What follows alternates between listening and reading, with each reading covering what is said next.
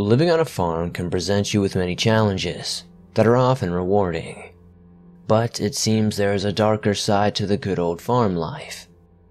These people share their allegedly true stories from working or living on farms in the middle of nowhere. These were some truly creepy ones if I do say so myself. If you have a story you would like to share on a future episode, be sure to visit swampdweller.net and submit your story. I would love to share it with everyone here in the swamp. It's stories like yours that keep this channel going. Before we jump into these stories, I just wanted to do one last quick shout out for my friend, Sociopathic Pasta.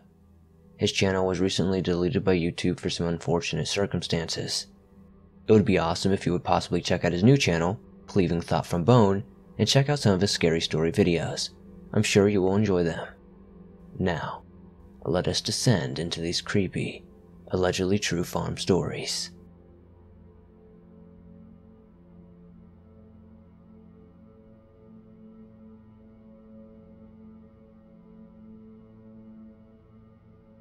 This story took place around December 2017 at my boyfriend's farm outside of a small town in Nebraska. This happened when I was 16 years old, and I still remember it because every second of it was burned into my mind and ultimately ruined my Christmas and New Year's out of paranoia and fear. Anyways, it was a cold December night. I remember specifically December 21st because I had just gotten out of school for break. My boyfriend Jacob and our friends, Lucy, Ryan, and Hunter, were hanging out at Jacob's house, which is in a wooded area that only has a few neighbors who are about a few miles apart. Jacob had just gotten a new UTV as an early Christmas present, and we were all excited to take it out for a ride.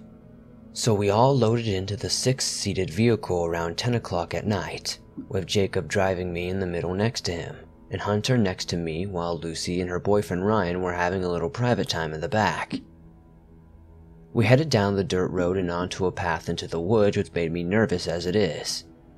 I suffer from anxiety and being in the middle of a dark forest most likely with no service had me scared enough. Keep in mind it was about 25 degrees outside and going 40 miles per hour with no windshield to protect you. It was pretty cold. In fact, it was so cold that my legs are starting to become numb. I made Jacob stop the vehicle so I could switch seats with Ryan and have some gossip time with my bestie in the back seat. Just as Ryan and I got out of the UTV to switch, we heard a sound that I will never forget. It was a screech that sounded something between a woman screaming and a pig squealing. Lucy and I were terrified while the boys were all trying to rationalize the situation and calm us down. However, I wouldn't have it and wanted to get out of there as soon as possible. We tried to forget about it and loaded back into the vehicle. But when Jacob tried to start the vehicle, however, the most cliche thing happened. The UTV would not start, which we all found was strange, because he had just gotten it about a week ago and had only driven it a few times. I was terrified and didn't want anything to do with this, but I was there and this was really happening. Jacob decided that a few of us would stay here while some of us would go get the truck and pick the rest of us up. We decided that Jacob, Hunter, and I would go, and Lucy, Ryan would stay. And we would keep watch because there was no way he would leave it there unsupervised while someone would get a free UTV.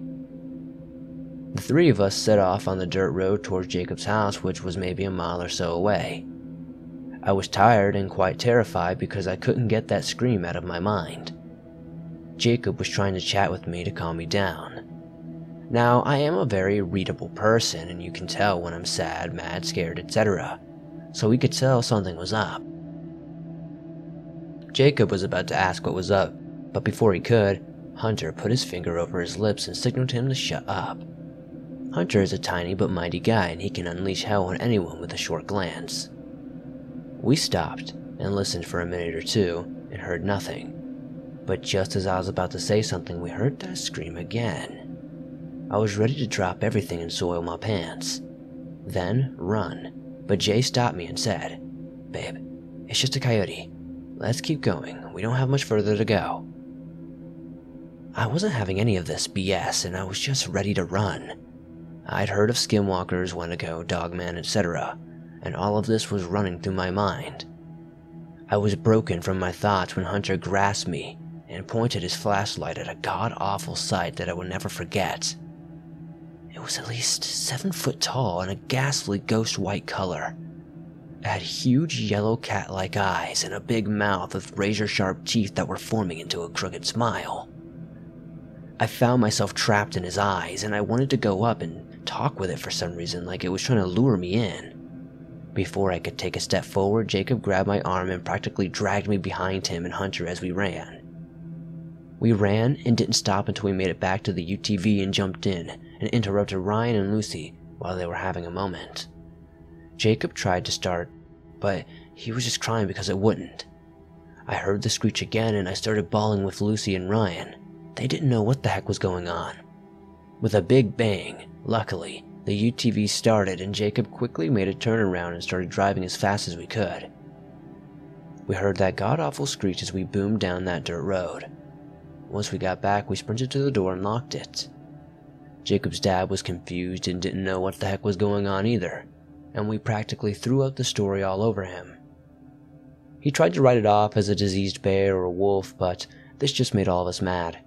Hunter, Lucy, Ryan, and I were way too terrified to drive ourselves home let alone step foot outside. So we all called our parents to let them know we were staying at Jacob's house. We all slept in the living room with me on the couch, Lucy on the recliner chair, and the guys on the floor. I swore I heard the screeching outside, but I can't be sure that's it. I never saw that thing and its yellow eyes again. Jacob and I now live together, and his father still owns the farm. I refuse to visit unless it's during the daytime. That said, even if it is the daytime, I'll never in a million years go near that dirt road again.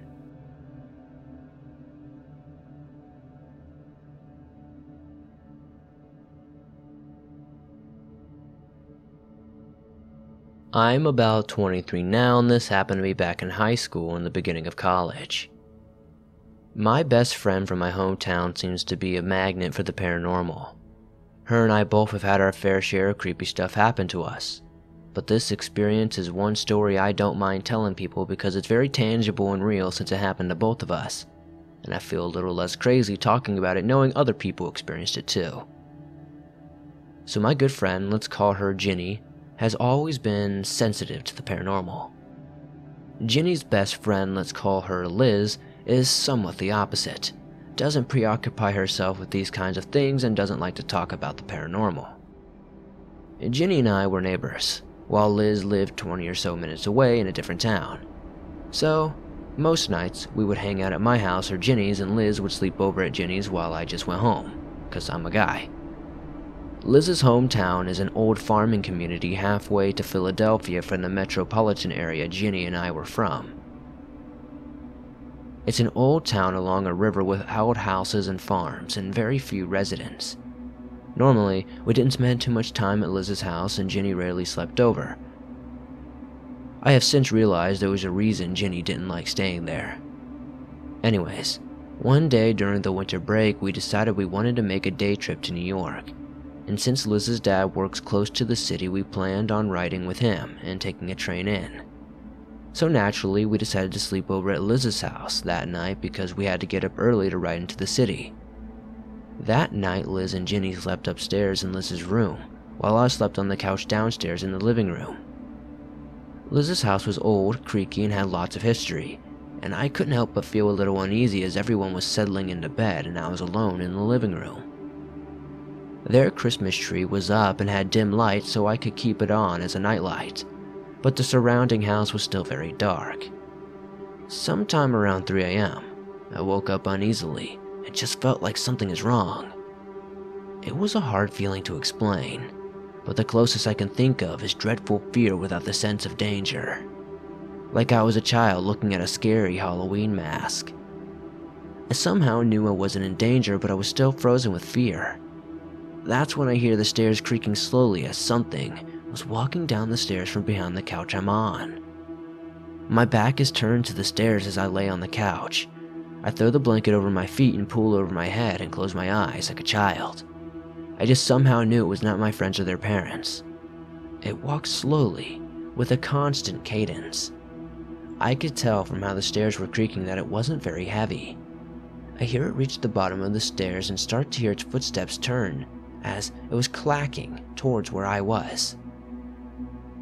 It sounded a lot like a dog with long nails walking on the hardwood floor.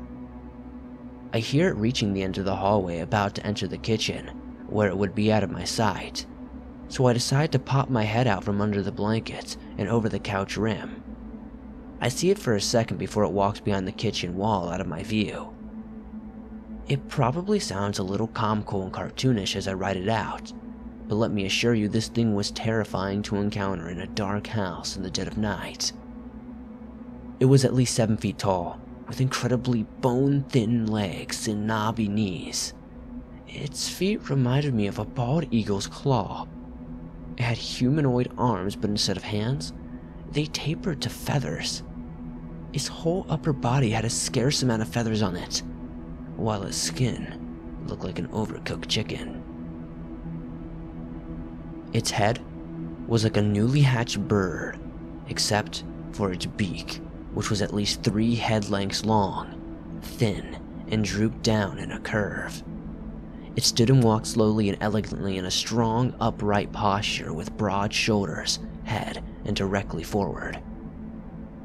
Its eyes were large triangle shapes, somewhat resembling the Pokemon Zapdos. I immediately pulled the blanket over my head again and closed my eyes.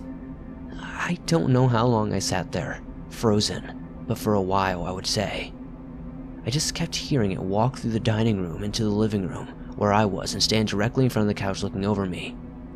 I kept my eyes closed under the blanket for what seemed like a few minutes. I finally opened them after a while to see its shadow in front of the Christmas tree lights through the blue haze of the, the fuzzy blanket that was over my head. As soon as I saw it, it turned to the right and walked back up the stairs. Needless to say, I was terrified and couldn't sleep for the rest of the night. Suddenly, I remember waking up and it being dawn. It was different though. Once the sun was up, my friends were up as well, and all was good and I pretty much forgot about it. Although Ginny suspiciously asked me how I slept in the absence of Liz later that day. I said fine, thinking it was just a nightmare. A few weeks later, Ginny casually mentions to me that she doesn't like sleeping at Liz's because it's haunted. Suddenly remembering my experience, I asked her to elaborate and she tells me she always feels weird in Liz's room and they saw something in a picture they took once. Naturally, I make her show me. Someone had taken a picture of Liv and Ginny sitting on Liz's bed, arms interlocked, flashing peace signs as teenagers did in the 2010s. They sent it to me over Snapchat, and like something out of an urban legend horror movie, the recipient took a screenshot and responded, What's that behind you?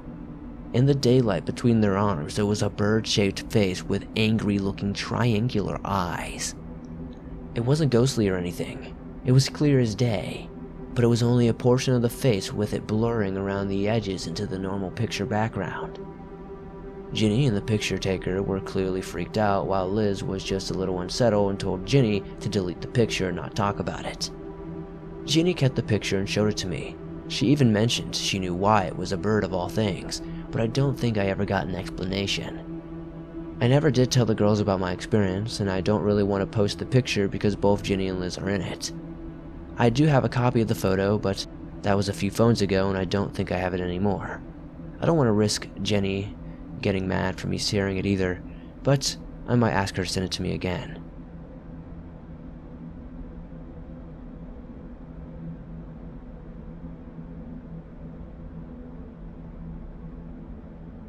This is a story my mom told me from when I was only two years old.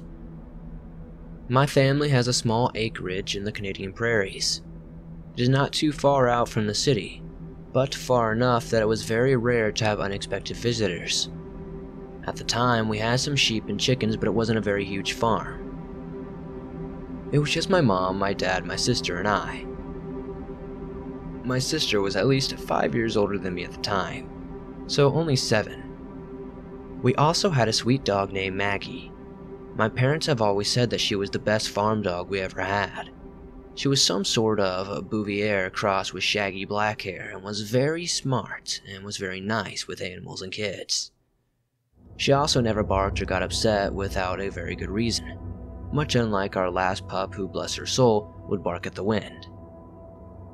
My dad was out of town this particular night, probably visiting my grandfather in this town down south. My mom was alone with just us and Maggie. My mom woke up in the middle of the night to Maggie growling. My mom's a pretty light sleeper, so it doesn't take much to wake her up, but this was very unusual behavior for our dog. My mom thought it was probably an animal, so she took a peek outside.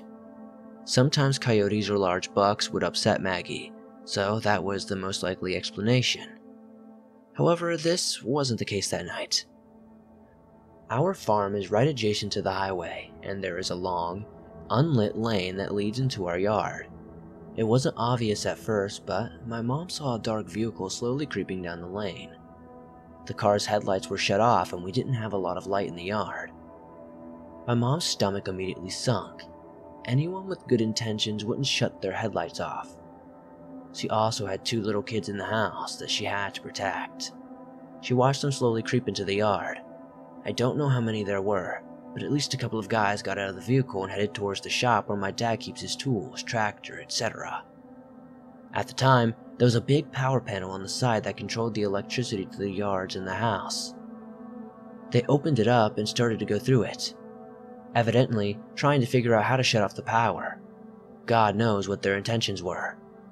Luckily, my family has a hunting rifle. My mom grew up on a farm, so she knows how to use a gun. Rifle in hand, she quietly propped open the door just enough to stick the barrel out. She fired a few warning shots in the guy's directions. They freaked out, hopped in their vehicle, reversing all the way down the lane so that they couldn't see their license plate. I honestly have no idea what those guys were planning on or what they were doing. Maybe they just wanted to rob us, but the idea of people pulling into the yard with no headlights, shutting off the power is unsettling. Either way, I'm extremely grateful for our sweet Maggie and badass mom for keeping us safe. It's been 21 years since this happened.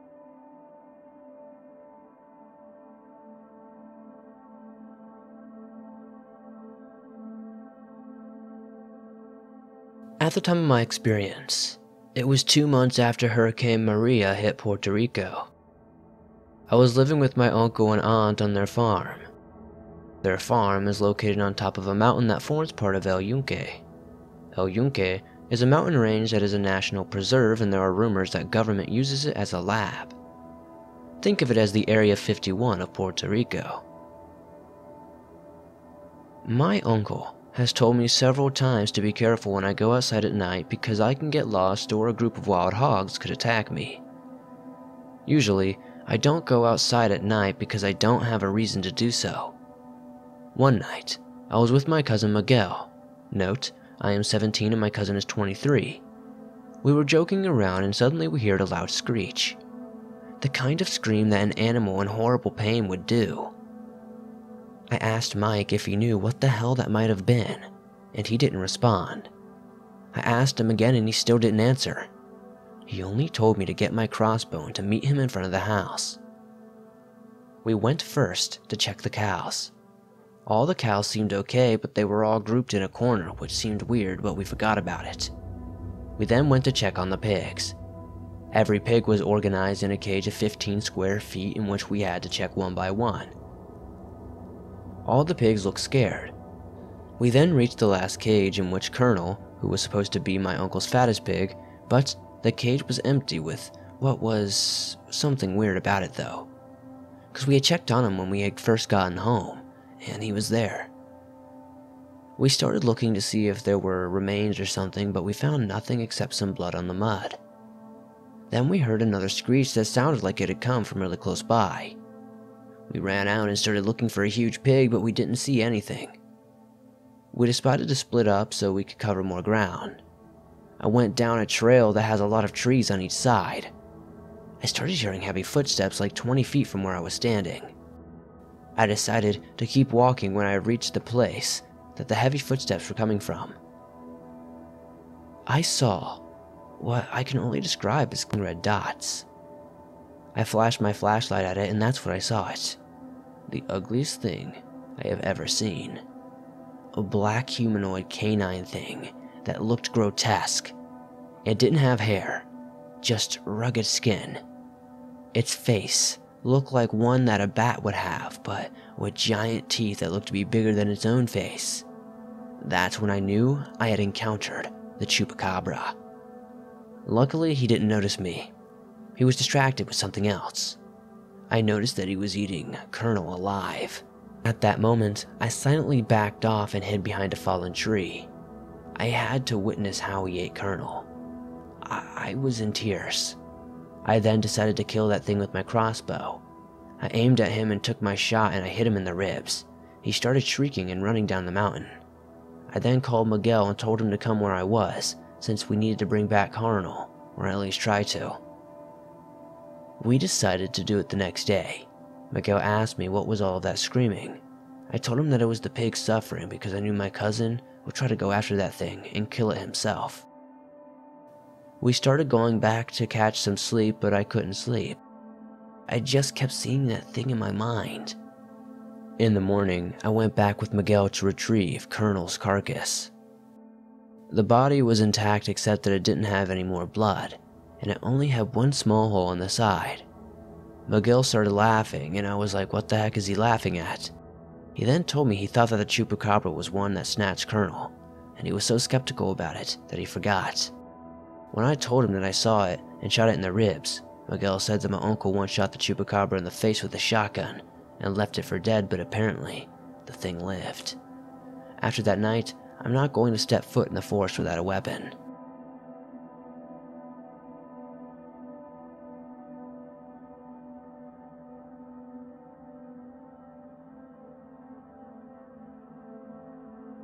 It was around late August, early September in 2012 when I lived in a farmhouse in northwestern Pennsylvania about an hour and a half drive from the New York state line that used to be owned by an Amish family until they moved to New York.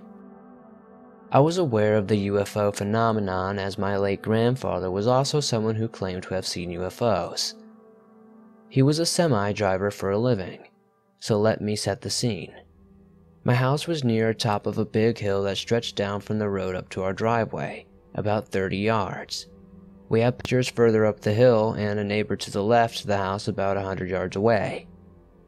I was getting close to winter, so we were gearing up and getting ready and getting our wood from the woods onto the right side of the pasture.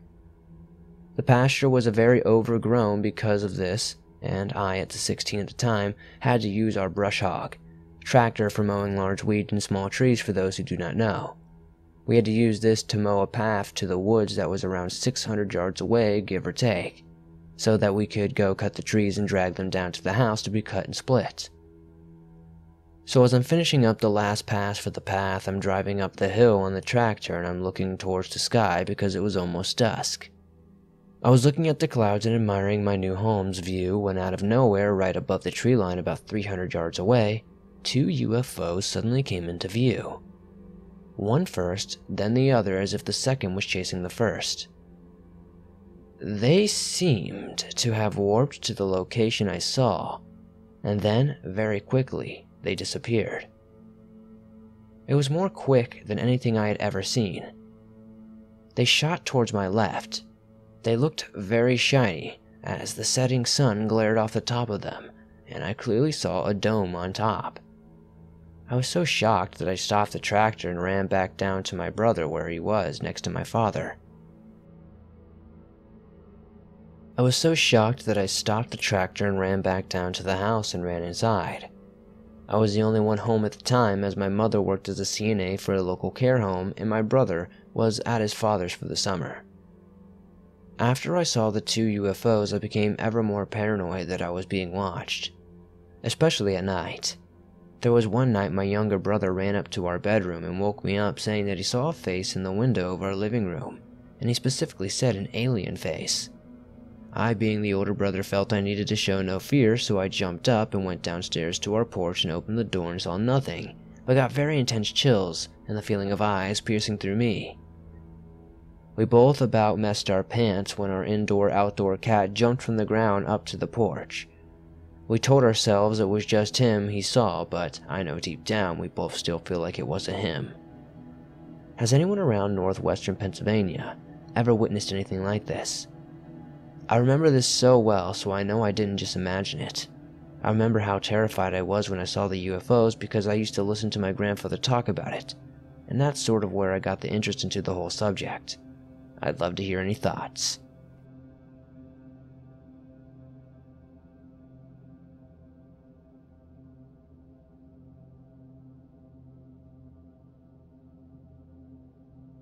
My grandma lived on a huge farm when I was a little kid, and I loved going to stay with her as I love animals, and a farm is any little kid's dreamland.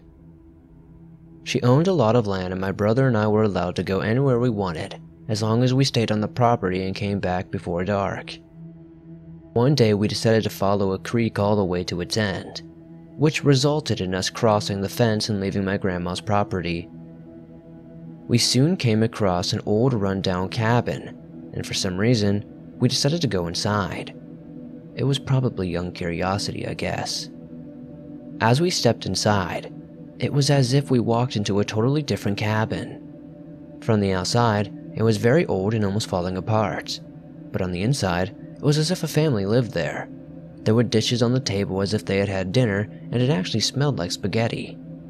The beds were all made up perfectly, furniture was outdated, but still in good condition. The floor and the wallpaper were also in good condition. There was no dust or cobwebs, no dirt or damp smell. It was warm. It was as if the family left in a hurry and left all their belongings behind and definitely not that long ago. We ran all the way back to my grandma's house excited to tell her about our new discovery. After a good scolding about leaving the property and a game of 20 questions, my grandma wanted to see this place for herself because her closest neighbor wasn't even near the area we were describing to her. We all three set off to find the cabin. We followed the creek as we had done before, passed through the fence, and went all the way down to where the cabin was. Except, this time, there was no cabin. It was just gone. Like it vanished into thin air. We looked for an hour trying to find it and couldn't. My grandma finally decided it was time to go home. She was pretty mad at us for leaving the property, but she never discredited our claims of seeing this cabin. I look back on it and lots of weird things happened on the farm. I just never realized it until I was older. The supernatural was also very drawn to my grandma and my brother. They both have many paranormal experiences that I personally saw as well. They just weren't happening to me. If you want to hear more tellings of the farm or my family, just let me know. Thanks for sharing my story.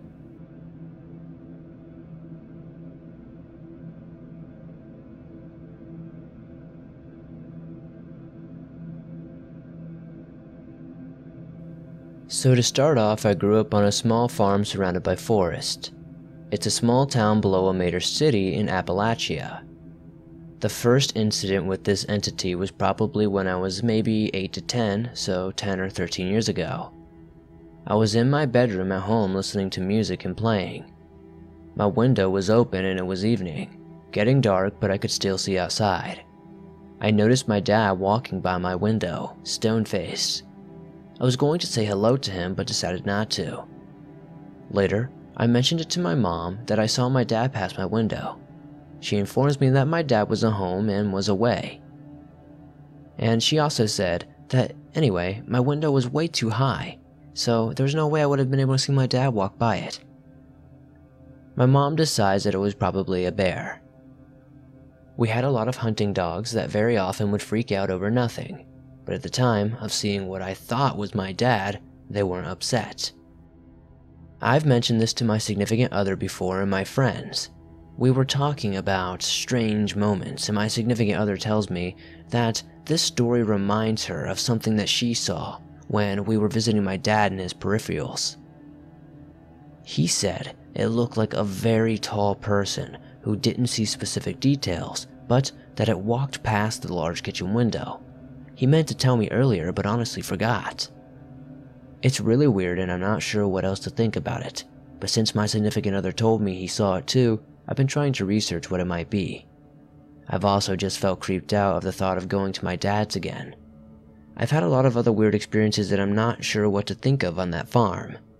such as going hiking and finding small shacks in the middle of the woods that are on my dad's property, then not being able to find them ever again. My mother calling me from outside while I was playing and telling me she heard screaming thinking it was me, and couldn't see me in the yard, and thought a wild animal could have grabbed me. Not sure if they're related, but I figured I'd add that.